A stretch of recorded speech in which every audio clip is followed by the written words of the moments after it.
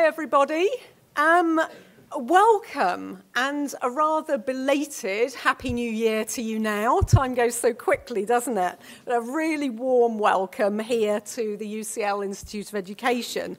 And thanks so much for joining us this evening.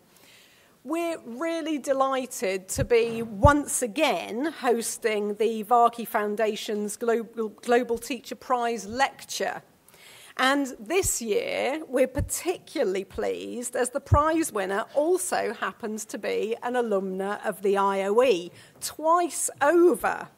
Because Andria studied on the IOE's Art and Design PGCE programme, and she's also a graduate of the CoLab National Professional Qualifications Senior Leadership Programme, which is also run in partnership with the IOE. So we're really pleased to welcome Andria back to the IOE, as well as to host her lecture here. And of course, it's now a double celebration because Andria was awarded an MBE for her services to education and young people in the New Year's Honours List. So many congratulations, Andria. Now, back in March 2018, I attended the Global Education and Skills Forum in Dubai, where the Global Teacher Prize winner was announced. And the IOE partners with the Varkey Foundation on that event. And again, I would like to congratulate the Varkey Foundation on the Global Teacher Prize because it just adds a very much needed out and out celebration of teachers and the work they do. And I think that's so important. But of course, as befits the Global Teacher Prize, Andria Zafirakou's work at Alperton Community School in Brent really is inspirational. Andria spent the entirety of her teaching career, which is 12 years and counting, 13 years and counting, we are in the new year after all, at Alperton. And she was promoted to deputy head of art within a year of her arrival. And she's now associate deputy head teacher leading on staff professional development. She's continued to spearhead through this time the focus on inclusion and engagement at Alperton. She's led the redesign of the school's curriculum to have it better resonate with pupils there. She continually celebrates pupils' cultural heritage, and bear in mind that there are about 130 different languages sp- spoken in Brent. She enables all pupils to access sport and well-being provision at the school, and she also works with the local community on keeping pupils safe in and outside school as well. But it's Andria's work as an arts and textiles teacher and in arts education that is, of course, our focus for this evening. We've heard a lot about the impact of funding cuts and policies like the introduction of the English Baccalaureate on pupils' access to a broad curriculum, and in particular, the impact on arts education. And IOE colleagues, along with teachers and leading artists, have been among the voices making the case for the importance of arts education for all. Added to those voices, we now have Andria's charity, Art, Artists in Residence, a characteristically proactive and practical response from Andria to the issues at hand. Artists in Residence is arranging for artists, musicians, actors, filmmakers, and dancers to visit schools that otherwise would find it challenging to offer arts education. Before we hear from Andria on these themes and why you cannot be truly educated without the arts, please can I invite Vijita Patel, who's principal of Swiss Cottage School Development and Research Centre and a trustee of the Varkey Foundation, to say a few words. Vijita.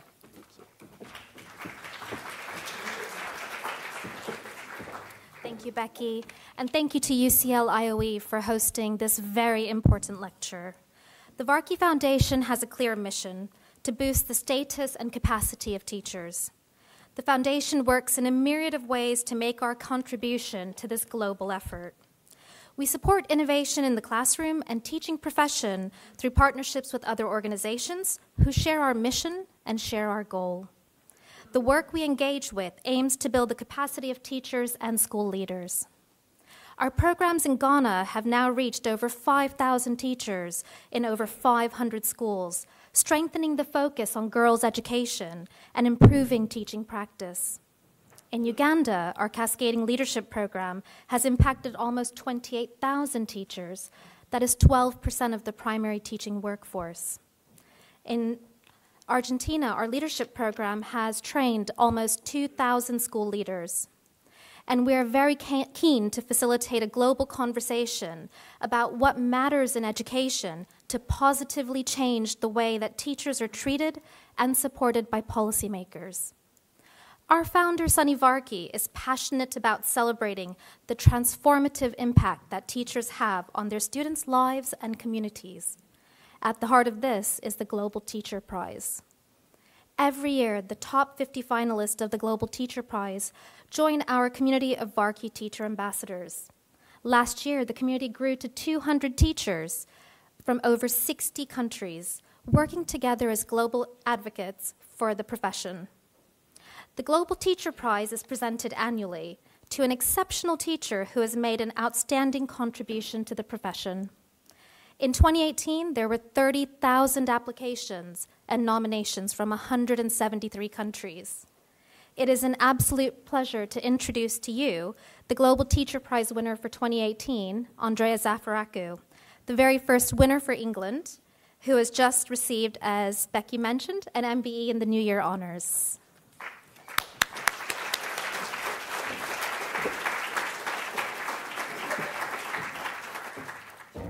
Everyone. Happy New Year. Happy New Year. Thank you. You're here. It's such a delightful moment for me to be um, to be home, to be where it all began for me at this amazing building on the eighth floor uh, with Leslie next door. I was taught by Nick um, Addison and. Um, uh, it was the most wonderful experience of my life, really, being here on this PGCE course with the colleagues there.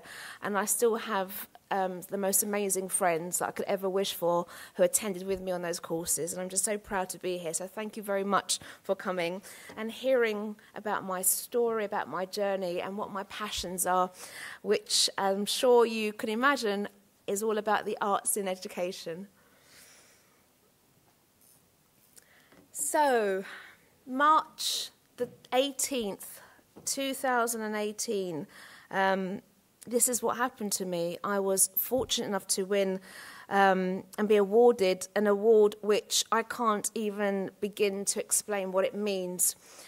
Varkey and Varkey Foundation believe that teachers have got the power to transform lives. And I was, first of all, blessed to have been nominated in the first top 50 alongside some other incredible, exceptional colleagues that are in this room. Eartha, there you are at the back. But also, to be up amongst these the top 10 here. Now these people they are they're phenomenal. We have got teachers who are changing lives in um, countries by um, accessing maths on a global scale.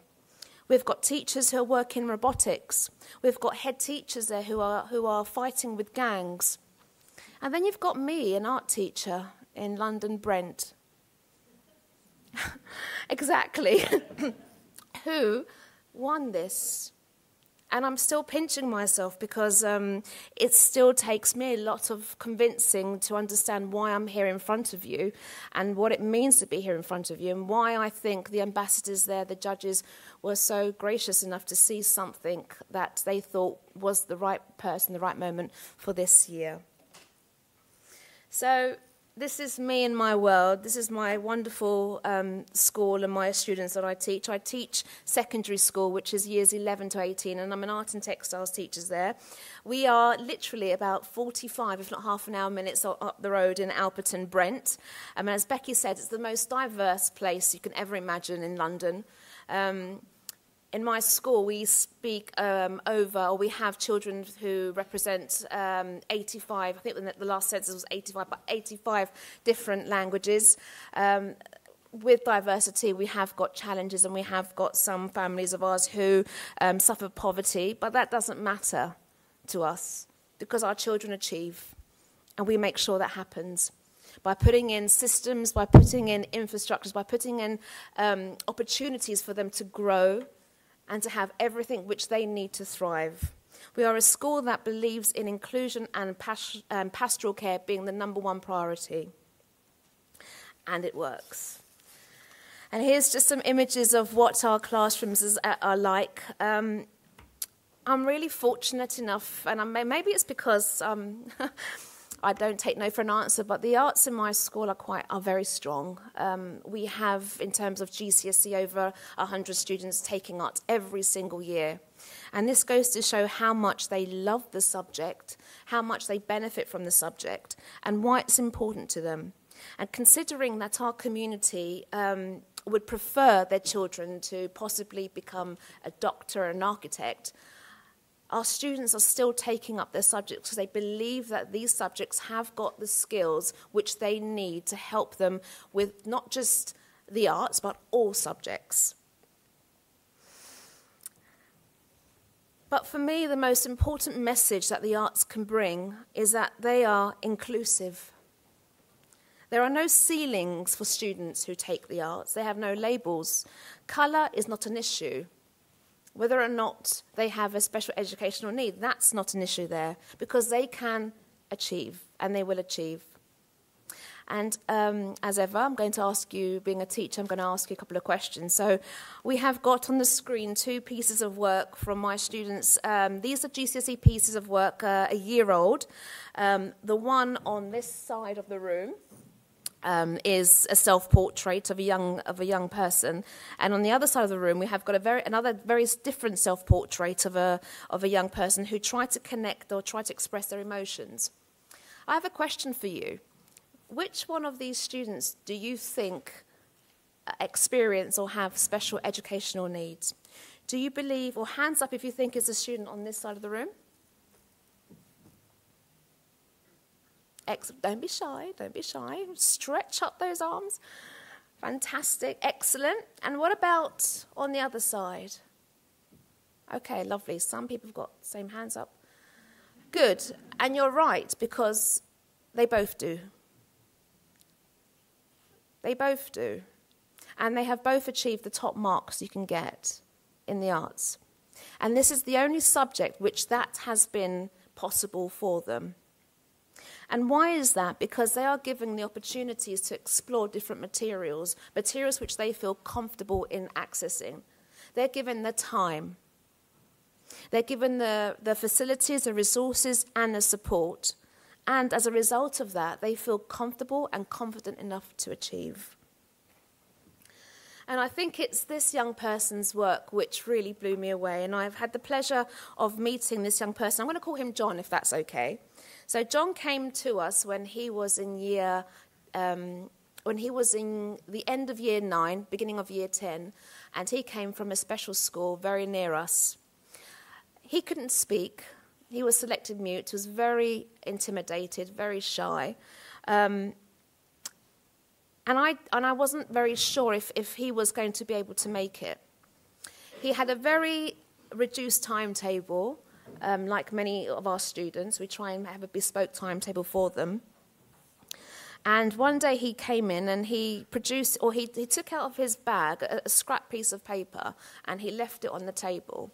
And I was walking around the room. I managed to just peek over and push his books aside and see the work that was there. And it was the most extraordinary drawing of, of a guitar you'd ever seen. The tone was amazing, beautifully applied. Um, the outline was, was perfect, the shape was there. Um, and he added lots of information on that. And I said to him, Did you do this, John? And then he just didn't say anything. And I was like, Okay, all right, I, I, there, there's something here. John, against all the odds, managed to get a C for his GCSE art. But not only that, he's now, or has now completed his A level in art photography. He got an A. He's completed this year his art and design A level in art, and he got an A. He wants to go to Bournemouth University to study gaming, and he will go there.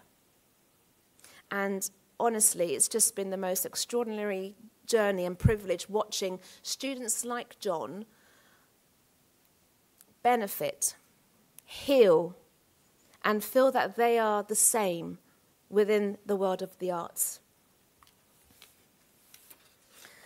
But not only, not only that, um, I feel that for our students, the arts helps to push stereotypes. It pushes their boundaries. And some of our students are able to really identify who they are, who, what, what stories they want to tell us. And here we have a, a young student who was, had some very, very conflicting situations at home.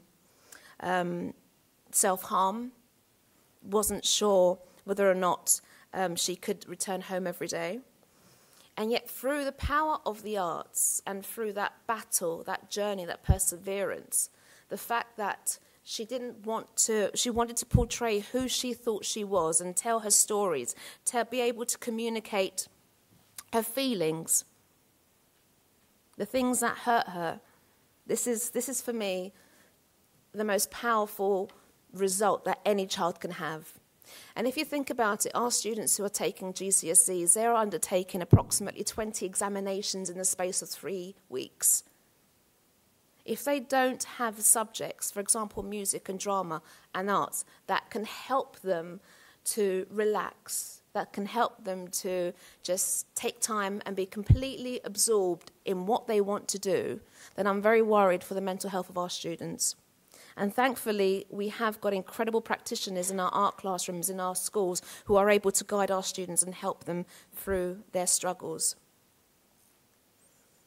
Now, this is a recent piece of work from one of my students. Um, she was, we'll call her Fazana. Fazana um, was a refugee from Syria, and this was her most recent examination piece for her GCSE artwork. When I saw her making this, I, I was quite tearful because I, I, knew I was the only few members of staff who knew about her journey. She had to flee in the middle of the night, and she fled under um, the support of the British Army to be able to move to the UK. And she did that, leaving back her mum, her dad, um, and her two brothers and sisters. She's obviously by herself in this country, and she's living with um, an auntie figure. And when I asked her what this piece of work was, um, she, we, we, managed to communicate, and the, the thing that she said to me was, Miss, it's about peace, and we can see that through the dove. But what was quite fascinating was that she had um, a speech mark in the top um, right hand corner there. And I was waiting and waiting to find out what she was going to add in that speech mark. What kind of words, what was it she was trying to communicate across to us?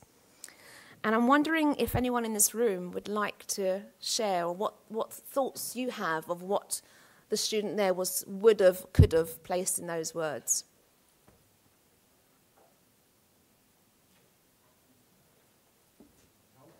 Help, thank you. Anyone else? Peace. Interesting. What will become of me? At the back, gentlemen, sorry? Hope. Hope. Excellent. Okay, you're on the right track. Um, her answer to me was, But, Miss, who will listen from me? Who will listen? And I thought that was probably the most powerful thing I've heard all year. But through this art, piece of artwork, we can feel that we know exactly what her journey is, what she's asking for. She's asking for hope. She's asking for love. She's asking for stop this thing from happening. But not only that, the arts also help our students to voice their opinions of society. Um, in terms of uh, our textiles course, we make sure that we really promote um, the, the fact that we need to be, have a sustainable environment, that we need to protect our environment. And again, the arts are, are the areas where our children can really feel that they have and can support the ethical situations and also humanity itself.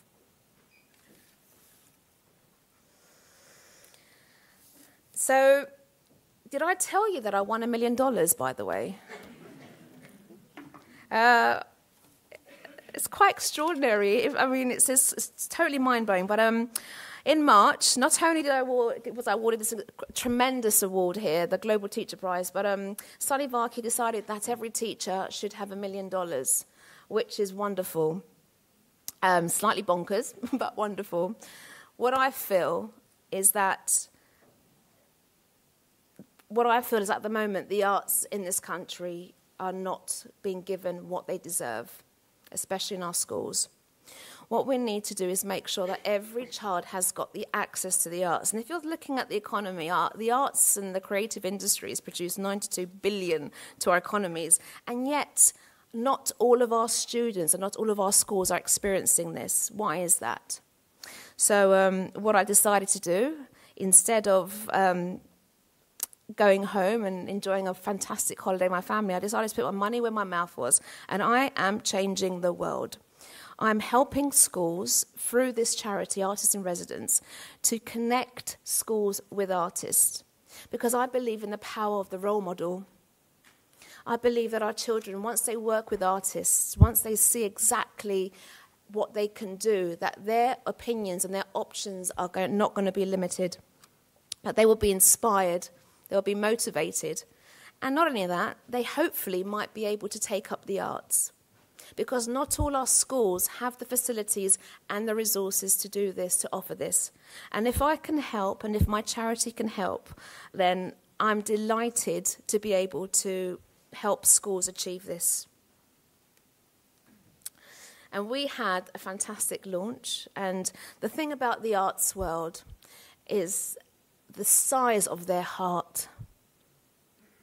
They, I've never experienced it in my entire life. The whole world, the whole arts world was behind me. And many of them are in this room here today, and it's lovely to see you all. But I, and because of that, I felt empowered and I felt that we can do this and we will do this. And as a result of that, many of our artists have um, signed up, and it's with great privilege and my absolute honour to invite a dear, dear friend of mine, um, Mike Attenborough, who has was it's just completely inspired me, and he was the one who says, "I'm here to help. What is it you need? Tell me what you want me to do, and I will do it." And there's not that many people around there who can do that, but from what I've seen through the arts, people understand what I'm trying to say, and that is that we need help. And thankfully, um, Mike was there, and he's here tonight to help me um, tell you what it means to be an artist in one of our schools and what he thinks is the importance of arts in education. Mike, would you, would you mind, please, coming up? Thank you very much.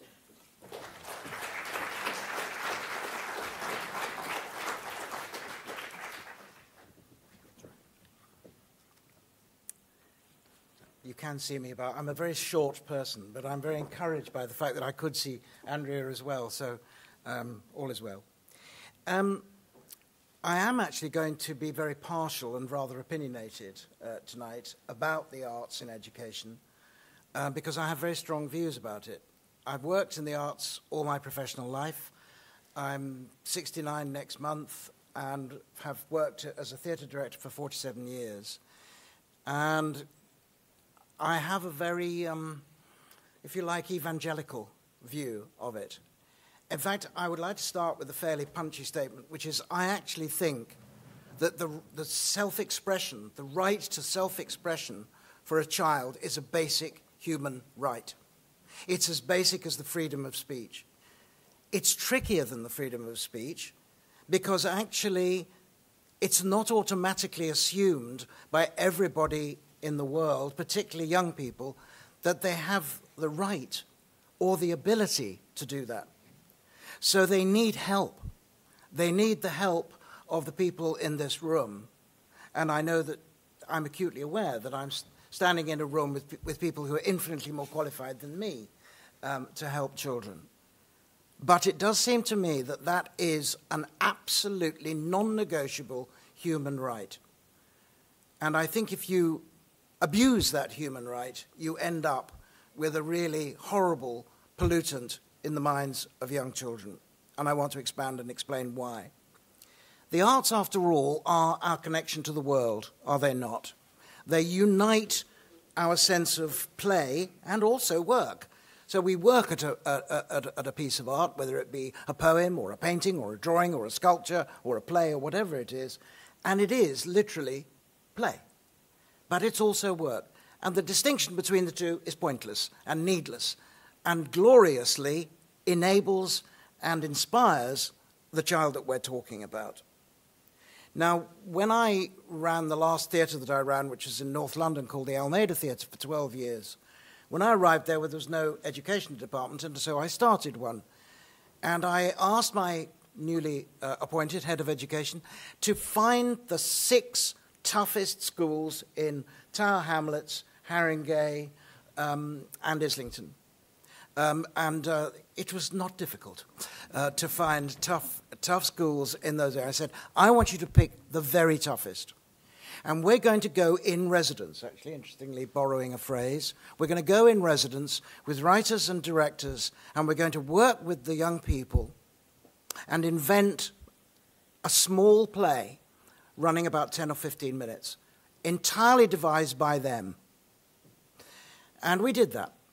And we had a wonderful day in the Almeida Theatre when all of the schools played their plays to each other. You've never sat in a theatre when schools were so well behaved because they all wanted to be frightfully uh, orderly so that the other kids would be orderly when they were performing. Um, it was a very healthy experience. Um, but it was an astonishing thing to watch. And without fail, and Andria touched on this earlier, without fail, all those schools said to us every single kid that was involved in your work improved their work elsewhere. And when we had arrived, we said, Watch our lips. We are not here to address your curriculum. We will be working with the young people on themselves. We are not concerned with what, preparing those kids for exams. And of course, coincidentally, surprise, surprise, that's precisely what we did. But the wonderful thing to watch was the journey that so many of those young people went on. They gained self confidence, they gained in self esteem, they gained a sense of their own identity, and they gained confidence in the way in which they could collaborate and communicate with each other. A preparation, you could argue, for being a citizen of the world. I think the essence which is so different, I think, from so, so other areas in education, of the arts is that they address the individual. They don't address the mass. So, what's important in addressing a young person thinking of creating, albeit in whatever form, is to address them as an individual, to encourage out of them what they want to express, what they feel passionate about. They are not a, they are not a type. They are an individual. And of course, art, what's wonderful about art, particularly in the sort of context that Andria's already shown you, is that it doesn't judge you. It, it doesn't, it, you're accepted. It's yours. There you are. There's my drawing. There's my poem. There's my sculpture. It doesn't judge you. It doesn't ask for answers. It's, a, it's, it's absolutely accepted as being the possession of the person who created it. It's a release. I think, even more particularly, what art does, and what I, this is my own phrase, I think what it does is it gives shape to chaos.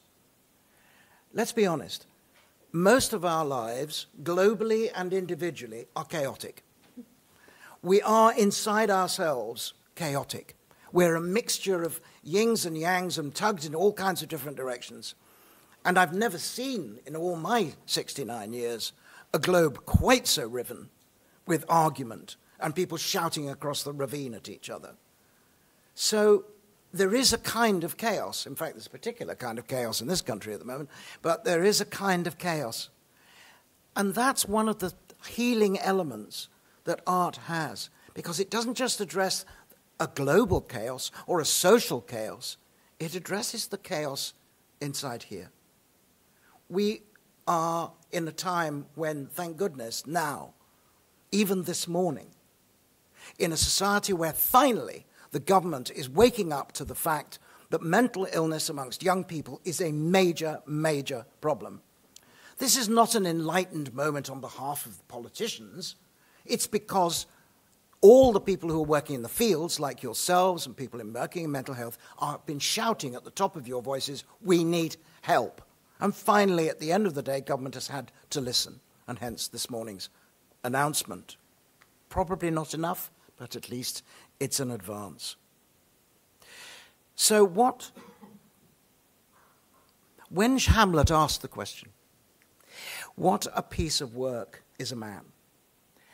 I think for the first moment in our history, at the end of the 16th century, a generation of playwrights, inspired and led by an absolute genius, discovered that the answer to that question is the unity of opposites. We have inside us the yin and the yang of the human personality. So, all the plays that preceded Shakespeare, which were all morality plays, in which there was always somebody in white and somebody in black, there was, the, there was, there was the, um, an angel and, de- and the devil, everything's very clear. And everything since has explored the infinite shades of grey against absolutes. Oscar Wilde, one of my great heroes, once said that when we, when we as we often do in rehearsal, we talk about the truth. We've got to find the truth. The truth, pure and simple. And Oscar Wilde said, the truth is rarely pure and never simple. And he's right. And it's that tangle, that irony, that contradiction, that conflicting tension that the arts address. And it applies every bit to a girl who's come from Syria, to a kid in Tower Hamlets as it does to all of us in this room. What art also does is that it moves that which is private into the public arena. Feelings, not facts. In fact, I would argue that what the arts do is address the side of the national health that we can't see. It addresses that which is invisible our emotional, psychological, mental, spiritual selves. Um, those self portraits that you saw earlier reminded me of one that I, I remember seeing when I was researching a play about sex abuse.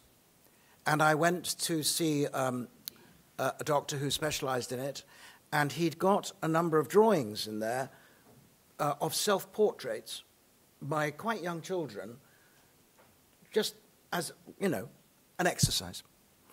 And there was one in particular, and I, it took me about three or four seconds to notice. She said, Do you notice what's strange about this picture? It's drawn by a like six year old who'd suffered terrible abuse. And I looked at it, and it suddenly hit me. She'd given herself no mouth. The portrait of her face had no mouth. I can't speak. I can't utter. I can't articulate that which has gone on. And in a funny way, actually, that's what I thought was so powerful about the Syrian refugee. I, I was going to say, I was too shy to do it, but I was going to say that what was in her bubble is what's the point of speaking? Because you're not going to understand me, which in a different way was what she was saying. Who is going to listen? The point about communication is it's no good talking in a void, it's no good talking in an empty room. The great thing about art is that it communicates from the private self into the public arena. And it could be you or me or Andria or classmates or whoever. It's the first step to articulate what's going on in here. It's also, and this is a little tip to Mr. Gove, um, it's also impossible to quantify, to measure. Very, very difficult. And for those who know the price of everything and the value of nothing, another little reference to Oscar Wilde, um, that's worrying, that's troubling.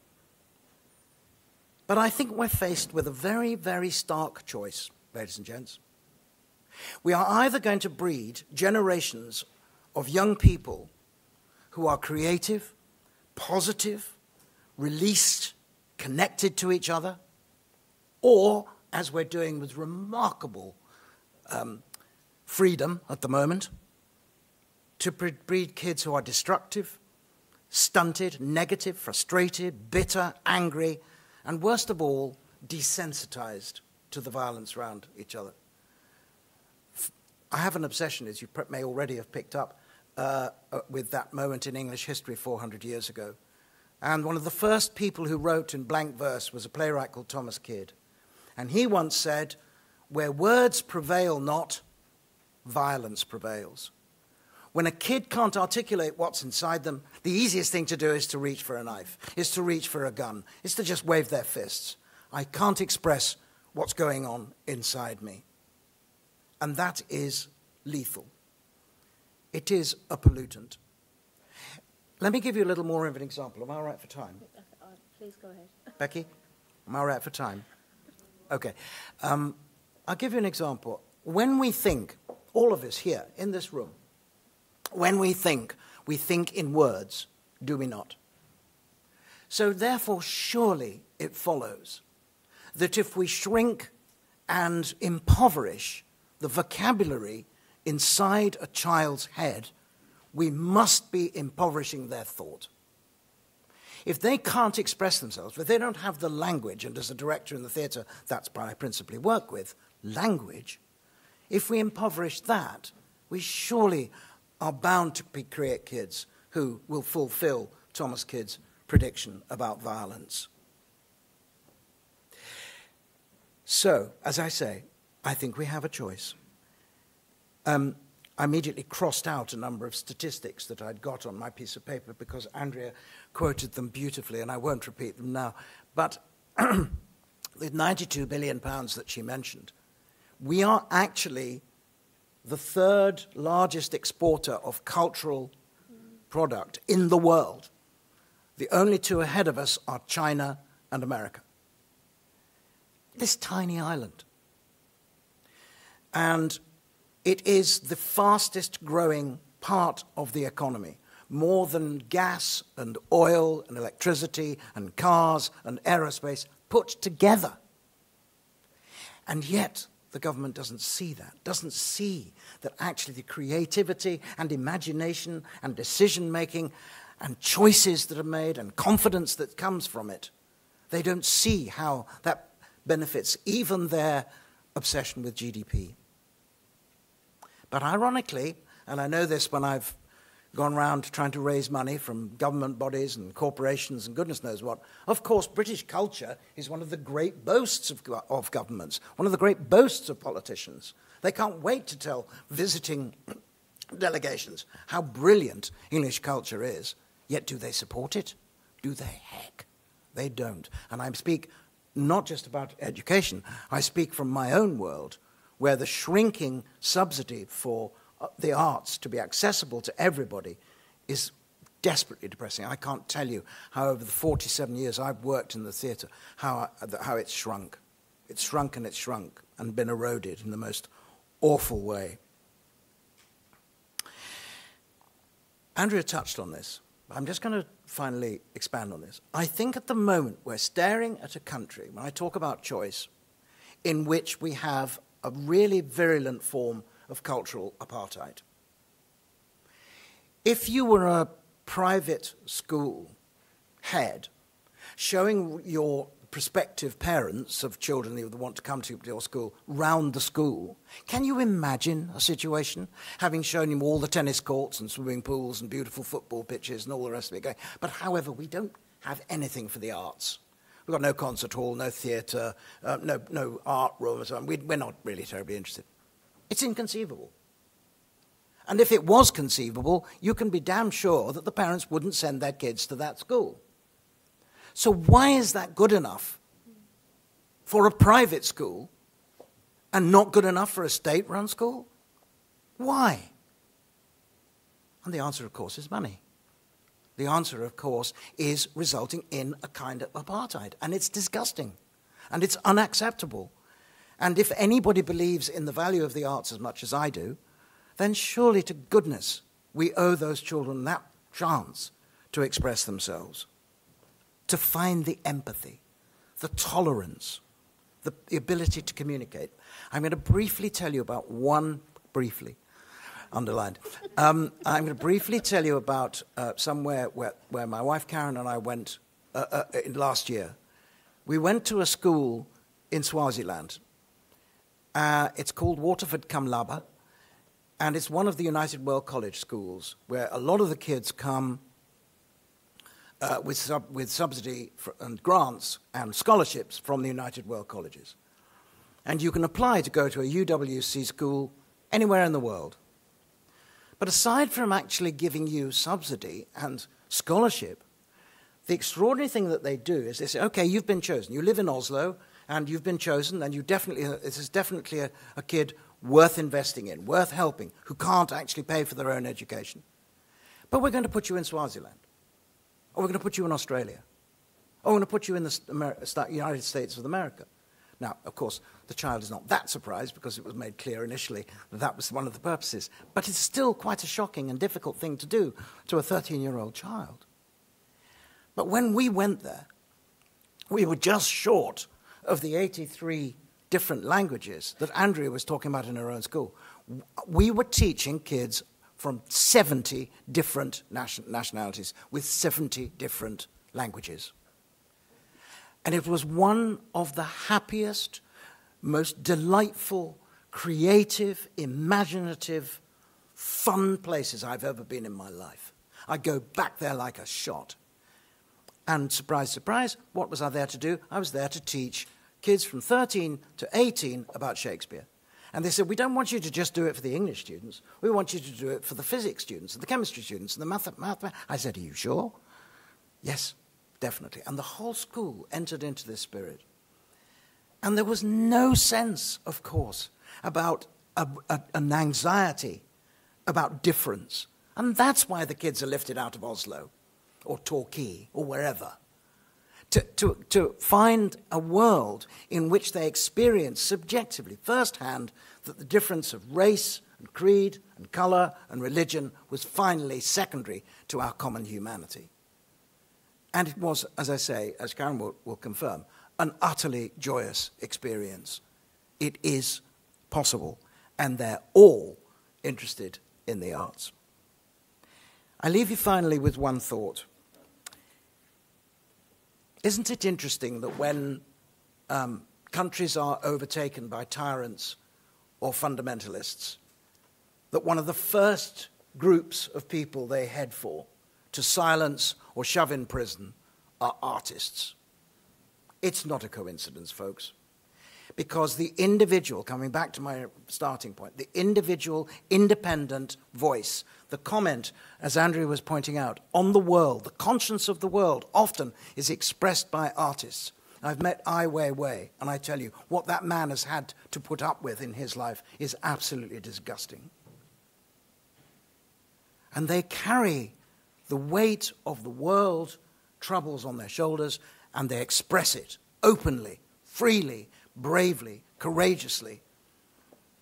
And therefore, it's no surprise whether it's Ai Weiwei or Malala Yousafzai.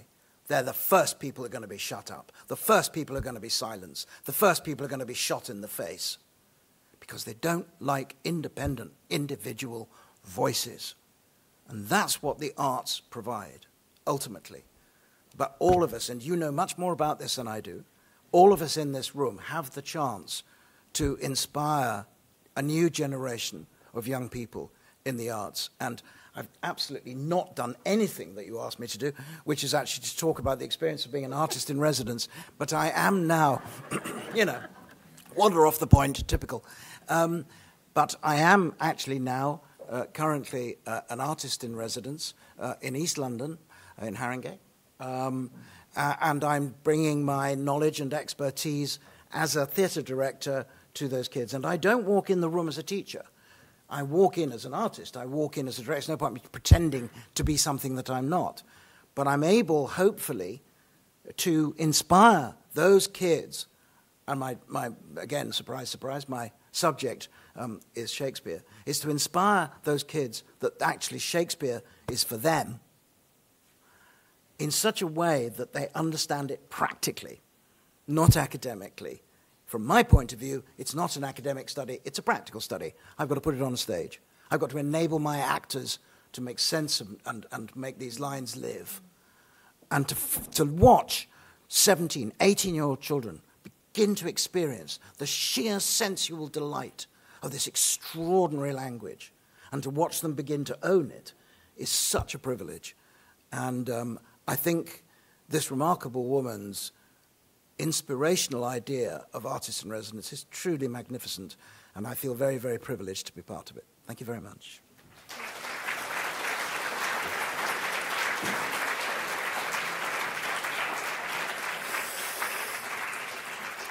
That man, that man, that man is incredible, isn't he? Inspiring. Um, I'm not sure how to follow that, but um, on my on my journeys over the last eight months, I have had the privilege of visiting many different countries, and it's quite fascinating because um, the questions and the issues are very similar. And this is what they're saying in different countries. First of all, many teachers are struggling um, trying to integrate this new multicultural world. That's one of the, the topics, the hot topics that are out there. and for teachers, this is quite interesting for us to be aware of. But can you imagine my response to the second question? So I went to a country in South America, and this is one of the questions they asked me. They said to me, and this was from a teacher Do you think that girls should be educated the same as boys? I always have that. Whenever I say that, I, that people take a breath. But my friends, that's what's happening in the world. So we have got quite a lot that we need to do to work towards saying, oh my God, yes, they deserve that and more.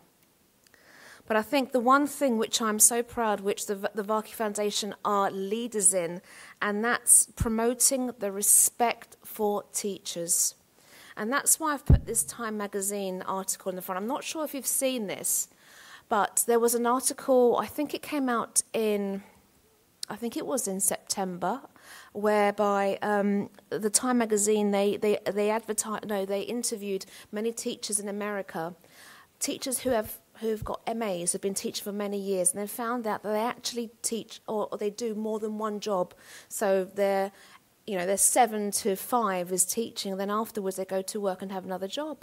And I found that quite amazing, and I could not really believe that until I met a teacher in New York and I said, Is this real? She then sh- went to the staff room and then she opened the locker and she showed me her uniform. And I said, My God, what's that? She goes to me, I'm a waitress. When I finish from here, I am a waitress. And I, I almost, my heart broke because I don't quite get it. Teachers are the light. And I, I, know there's many teachers in this room, and hopefully there's beginner teachers as well in this room. But without you, there's no hope for our children. You're the role models. You're the ones who make sure that they experience something which they don't have, and that's care, that's love, that's consistency, and that's education. And if we don't do this, sometimes I wonder who will. Who is out there for them? Who will guide them? Who will put them on this right track? Who will question them? Who will give them the answers? And as a result of that, I always get asked some questions, and I think it's quite um, interesting at this point. This is a picture of my school. Um, we are all slightly balmy, like I am, but um, there's some there's some um, questions that get that get answered all the time from my from the new teachers there, the new qualified teachers, and I just need to point some things out. So first of all, to all the teachers in this room, it's absolutely normal that on a Sunday night you don't sleep. And I know there's many of us in this room who last night we didn't sleep. Um, speaking to Becky earlier, but that's normal. Uh, I don't know what it is. Is it excitement to go back to work on Monday? I am not sure if it's that or anxiety, but you know, you'll get used to that. We get excited when Paperchase have a sale on stationery. We do, don't we? We just can't wait for that. Um, and then what we do, we then label everything because it's ours and not the other teachers. Um, we find it um, really oh, fulfilling to be laminating at eight o'clock at night. We like to laminate. And some of the things that um, I always ask is, you know, give me some tips. How can I, you know, how can I improve? And the, the, the few things that I say to them is, um, you know, if, if anyone has told you not to smile before Christmas, then you need to get physical and tell that person where to go because that's wrong. My dear friends, we need to start building relationships in, in our, with our students from the offset. We need to make sure that we create environments that are stimulating environments that you want to be learning in if you were a student, and environments that you would that you enjoy teaching in. But I think the most important thing is to remember that the power of kindness. Many of our students, um, we don't know what their backgrounds are, and you are the next best thing to that perfect role model, to the parent figure and to the person who is kind to them. So please let make, uh, bear that in mind. And the last thing I'd like to say is just thank you to all the teachers out there. Um, it is an extraordinary job. We, and it's a very hard job. I'm standing here in front of you, and I have had awful days being a teacher. I've had days where I've had to rip my hair out. Um, and I think, oh my God, how can I continue? But trust me, those days whereby you, that child gets that equation, or that child is able to communicate and says that word to you, like, hello, miss, and you're like, oh my God, he speaks. That's his voice. Those, that's the reason why we do what we do. That's the absolute reason. Nothing else, just that. And yes, we will get the most amazing amount of, Christmas cards and birthday cards you can ever expect at Christmas. But for some of our children, we are all they have. So just hold on to that when those days are glum, um, when sometimes we, we don't see the end of the paperwork, whereby um, the red pen of our marking just seems to be more than their actual student pen. so just hold on to that, please. I'm going to leave you with this last um, student piece of work of mine. Now, this student, she came to us from an island um, off of India called Diu. Um, and it's um, I wouldn't say it's the most developed island in the world. And when our students come to us, this particular student, she's never, she's year eight, so that she was uh, 12 years old. She never attended school at all. So she was at home um, with her parents all the time. And she couldn't communicate, very shy lady, very shy girl. Um, you know, you could sense that from her body language one day uh, she came up to me and she brought her friend with her and, and the friend said to me miss um, let's call her um, let's call her Rima. Rima, uh, Miss Rima would like to do some work, but she hasn't got the equipment. So I gave her a sheet of paper. Um, I ripped it out from a sketchbook. It was the only thing I had to hand, and I gave her a packet of oil pas- pastel materials. Um, in total, that must have been about a pound. And I said, "No, this is Rima's. She can have it. I do not want it back. She can have this." And I said to um, her friend there, I said, Can you ask Rima just to draw me a picture of somebody in her family, anyone who she wanted? And this is the image that she came back with. Now, I'm going to leave this up there because I think it's, for me, this is again one of those moments, those very small golden moments whereby my heart was filled of love and warmth because this child now has had that moment. She can now talk, she can communicate, and she can say, I am good at something, and I'm good at drawing. And by God, is she not good at drawing? Look at that blending. Look at those eyes, they're haunting. What story are they telling us? What's her journey been like? And this student now she's not yet fluent, as you can imagine. It's only been about um, it's been about a year. She's not fluent, but she's happy. You know, she skips into our lessons. She makes sure that all the sketchbooks are out, the materials are out before all the other students in. She says, "Thank you, Miss. Have a nice day, Miss." She smiles. She is present. She's not a ghost anymore, and she will achieve, and she will fly, and that is the power of the arts. Thank you so much. Thank you.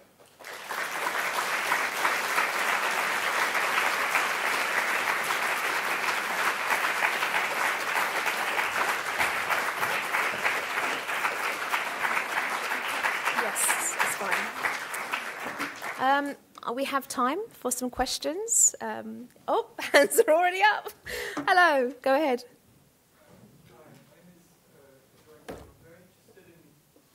I'm sorry, I didn't hear your name. My name is Joachim. I'm very interested in, the, in a field that has that is for some people quite popular and for, for others not so much. It's a, a field called uh, STEAM: Science, Technology, Engineering, Arts, and Maths.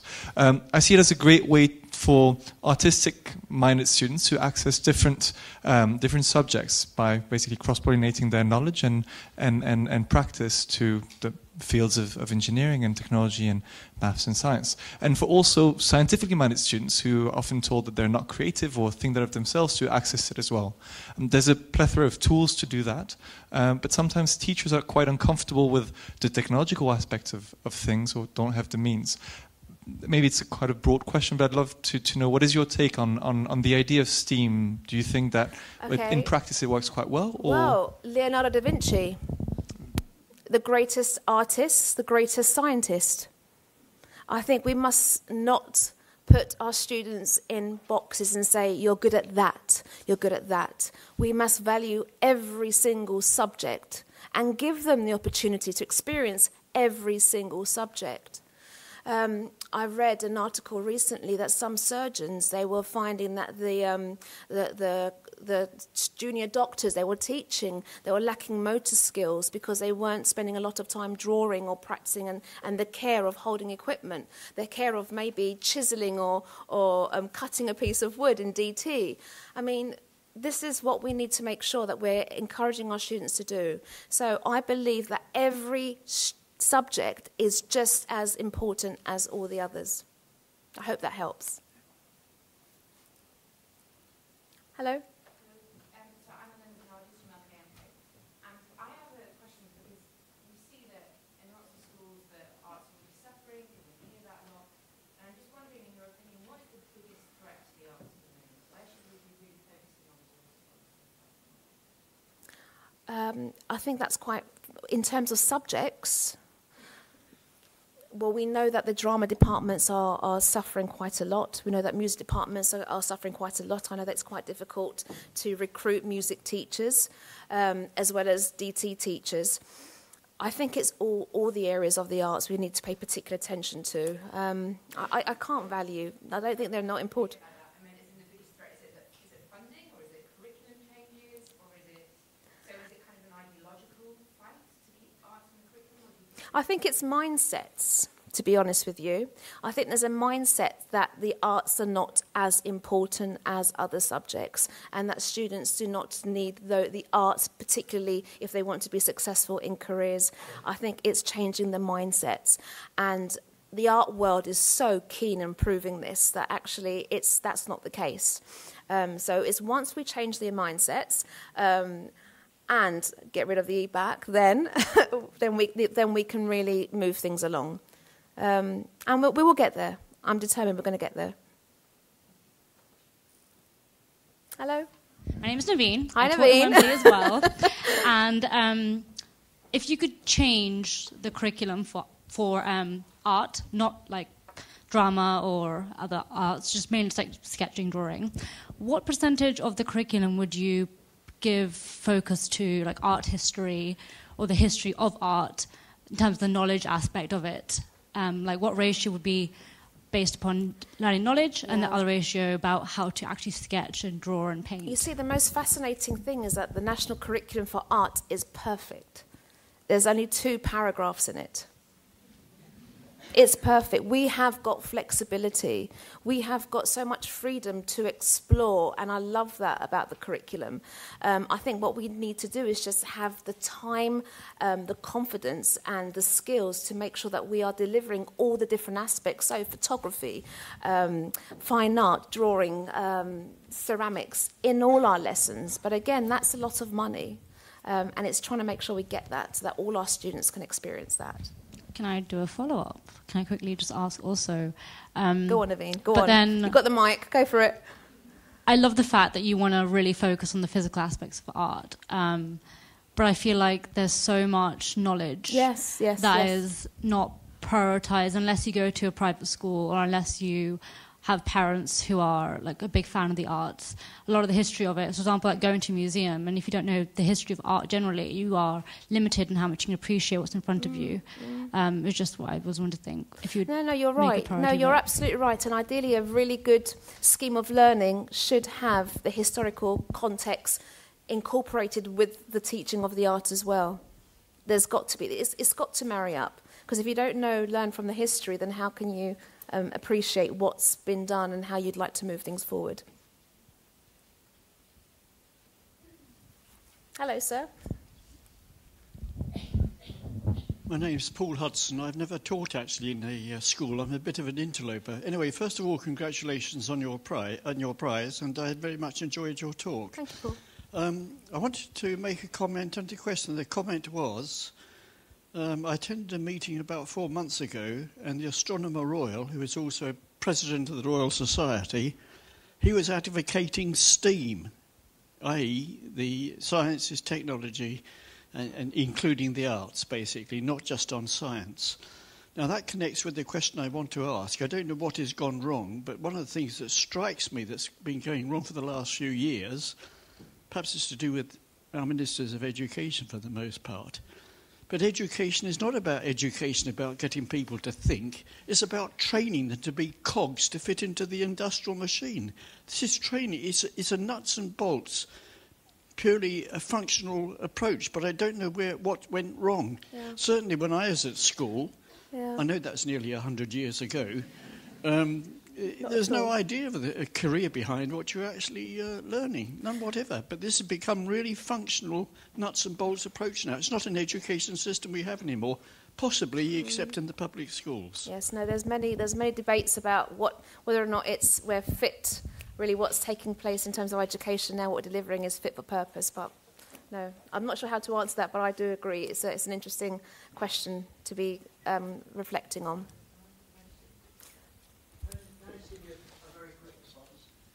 Um, I think we often forget what the word education actually means. The word education comes from the Latin educo. You can see I went to a public school. And um, it, that means to lead out. And the kind of education you've just described, of course, is absolutely the opposite. It's what we stuff in. Now, of course, kids need information, knowledge, talent, ability, but they also need to be able to use that to express what's inside. And that's what we're losing sight of. We're losing sight of the essence of what education is about, and it's impoverishing our nation, in my humble opinion. This lovely lady here.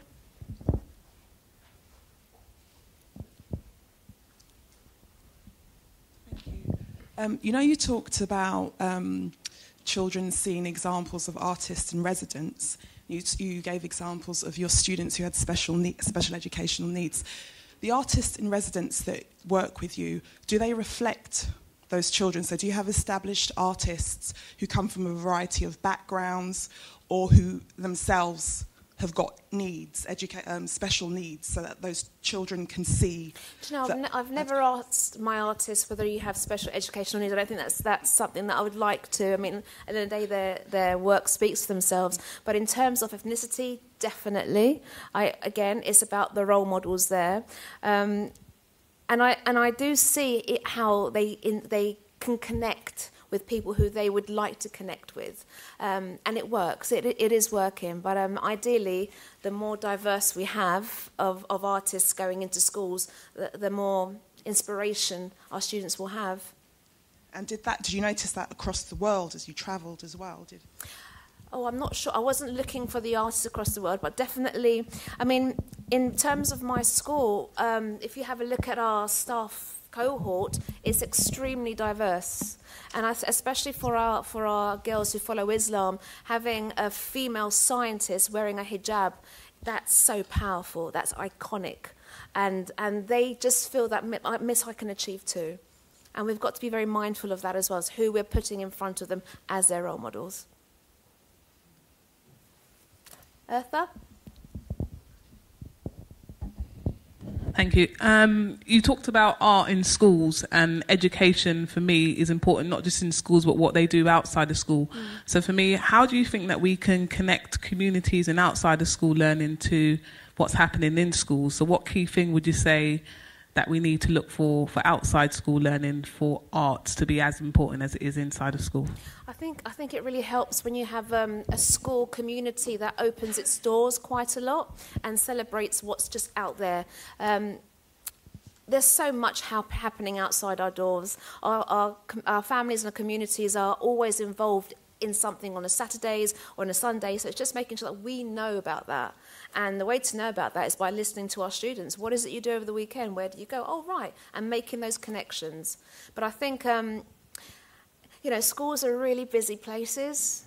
Uh, we, you know, if you're teaching in a school, we, we don't stop. We, some of us forget to, you know, have a cup of tea or sit down. We don't stop.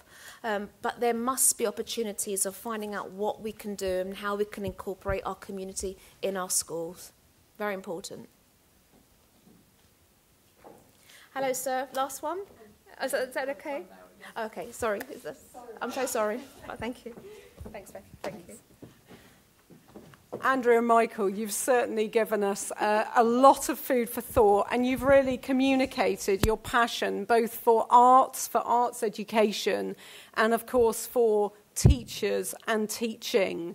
Um, thank you for that. It's given us a huge amount of stimulating discussion, and I hope that you'll join us uh, for some refreshments to do that. So, before we just move to have a drink and a good conversation, please join me, colleagues, in thanking Andria and Michael. Thank you.